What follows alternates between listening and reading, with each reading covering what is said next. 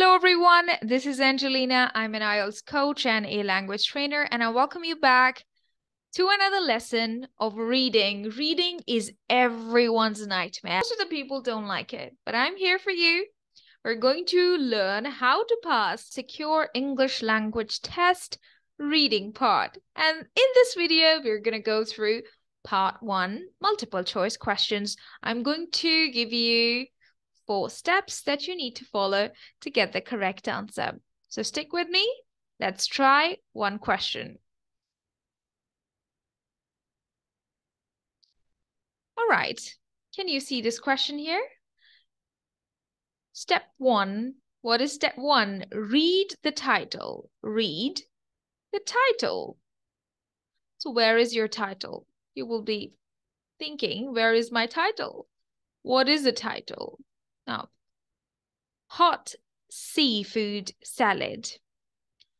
Hmm. What is step two? Step two is look at the photo. Look at any pictures in the passage.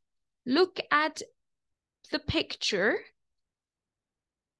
Look at the picture in the passage as we can see that this is a seafood salad and you can see some prawns, chili peppers, and also a salad dressing, right?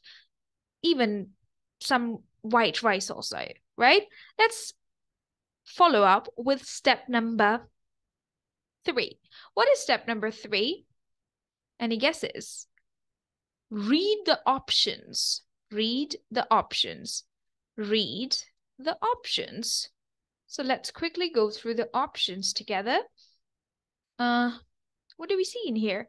We see after, before, and as. What is step number four? This is your final step. Scan the answer. Scan. Scan the answer. So it's time scan the answer in the paragraph, in the passage. Um, let's have a look. An unusual and exciting new dish for your summer picnics. Chop tomatoes, onions, and cucumbers and add 150 to 200 grams of prawns per person. Add fresh chili peppers to salad dressing. Mm, salad dressing before.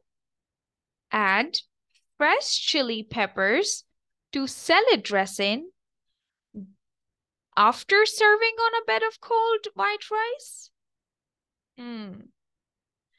Before serving on a bed of cold white rice. As cannot be the answer. Is that right?